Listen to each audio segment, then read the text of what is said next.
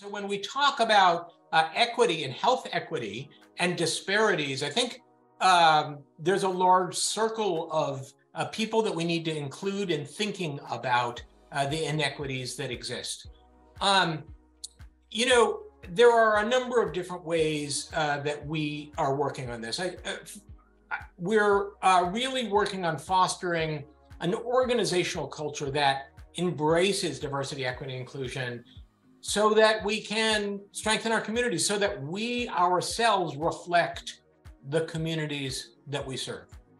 I think it's really important when we think about how we do that to make sure that we approach it with humility.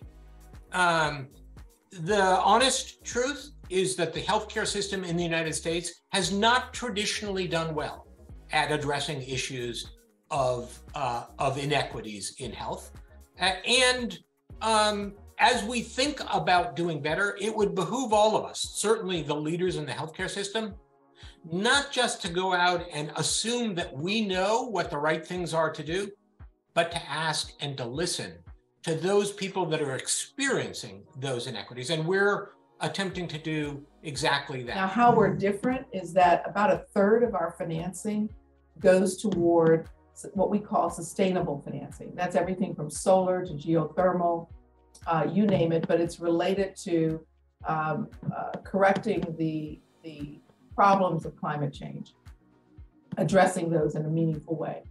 Um, almost all of our financing is what we call mission based. And that's everything from the work we do around affordable housing. Uh, we work very closely with CDFIs. Um, this is work that we do supporting um, a lot of commercial clients who are in, as I said, these sort of change making fields. It's a difference between feeling comfortable in a space and truly feeling like you belong, right? As a Chinese American woman who has gone through some of that, yeah. um, it is it is really a process.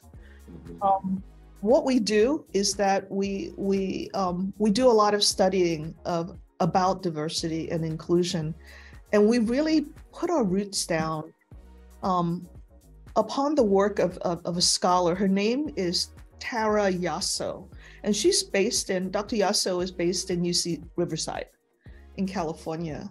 Mm-hmm. And she says, and her work is mostly based on the Chicano culture because of where she is, but it applies that um, every student that comes to us carry um, certain assets that they've built up over time, whether you're immigrant, refugee, native born, indigenous, black, white, Latinx, you carry with you the culture of your past. Really sort of you know, values and principles driven person. Like I, I remember my mom telling me, I think it was right before I started college or maybe after my first year of college, he pulled my brother and I aside and said, you know, you both seem like pretty smart kids.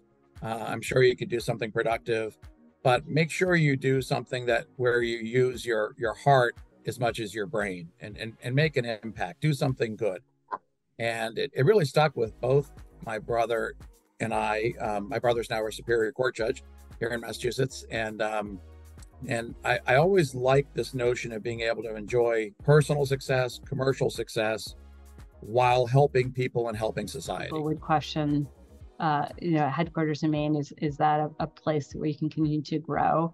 Say our culture is really rooted in the values of Maine, and uh, and it's really been an important part of the growth story of the company. If I talk to a customer, that you know they talk a lot about um, the relationship they have with the people that work at WEX which really ties into the culture of how do we treat the employee how that employee treats the customer so you know it's a great circle um, that we've built over time and i think that really comes to our, our Maine roots.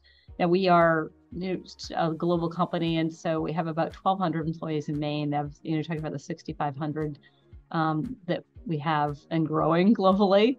And so we have employees literally you know all over uh, the world and our ability to attract i would say has only gone up over time